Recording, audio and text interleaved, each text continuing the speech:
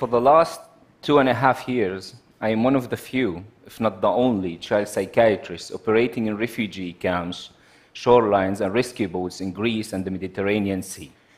And I can say with a great confidence that we are witnessing a mental health catastrophe that will affect most of us and it will change our world. I live in Haifa, but nowadays I spend most of my time abroad.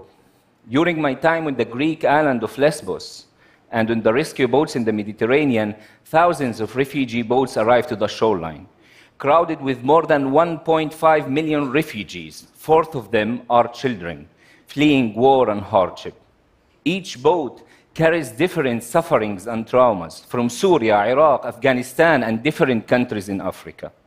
In the last three years alone, more than 12,000 refugees lost their lives, and hundreds of thousands lost their souls and their mental health due to this cruel and traumatic experience.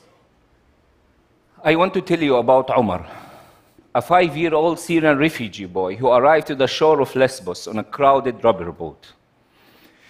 Crying, frightened, unable to understand what's happening to him. He was right on the verge of developing a new trauma. I knew right away that this was a golden hour, a short period of time in which I could change his story. I could change the story that he would tell himself for the rest of his life. I could reframe the, his memories. I quickly held out my hands and said to his shaken mother in Arabic, أعطيني الولد خذي نفس. Give me the boy and take a breath. His mother gave him to me.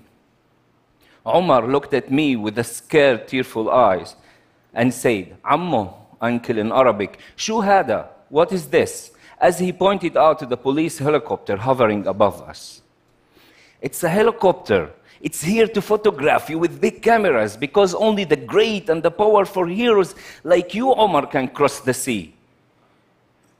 Omar looked at me, stopped crying, and asked me, Ana batal, I'm a hero,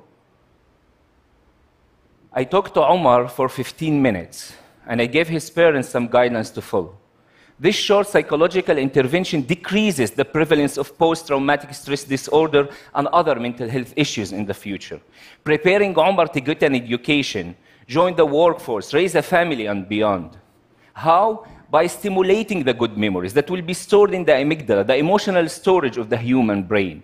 These memories will fight the traumatic ones if they are reactivated in the future. To Omar, the smell of the sea will not just remind him of his traumatic journey from Syria, because to Omar, this story is now a story of bravery. This is the power of the golden hour, which can reframe the trauma and establish a new narrative. But Omar is only one out of more than 350,000 children without the proper mental health support in this crisis alone. 350,000 children and me. We need mental health professionals to join rescue teams during time of active crisis. This is why my wife and I and friends co-founded the Humanity Crew. One of the few aid organizations in the world that specializes in providing psychosocial aid and first response mental health interventions to refugees and displaced populations. To provide them with a suitable intervention, we create the four-step approach, a psychosocial work plan that follow the refugees for each step of their journey.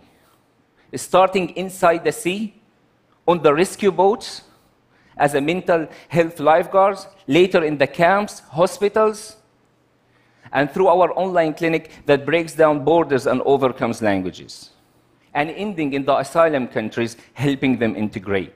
Since our first mission, in 2015, Humanity Crew had 194 delegation of qualified trained volunteers and therapists. We have provided 26,000 hours of mental health support to over 10,000 refugees. We can all do something to prevent this mental health catastrophe.